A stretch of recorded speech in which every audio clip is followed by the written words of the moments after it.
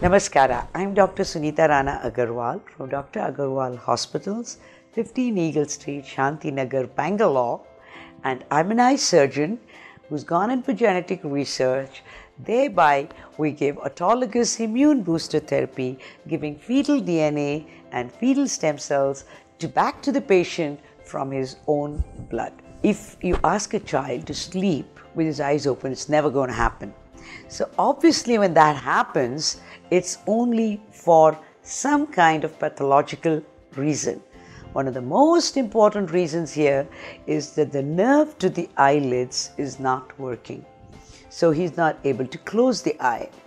This happens and the eye is permanently kept open. These are some of the reasons that some brain surgery or the patient has had operation done for ptosis and that became an overcorrection, or the operation done for facelift and it became overcorrected, whatever be the condition, his eyelids are not closing. We need to close our eyelids, we need to close our mouth when we go to sleep. Reason being, it dries up the mouth, dries up the eye. How do we do this?